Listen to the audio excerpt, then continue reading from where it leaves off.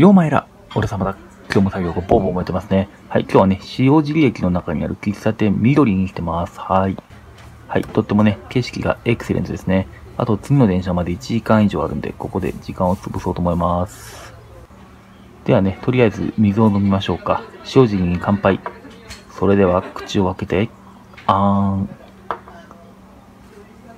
ーん。うん、水の味がしますね。それではさようなら、ボーボー。ブーボーブーボーボーブーボ